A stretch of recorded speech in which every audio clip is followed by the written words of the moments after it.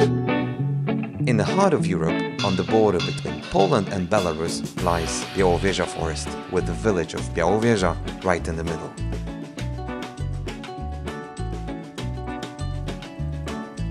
Białowieża Forest is the last fragment of primary forest in lowland Europe.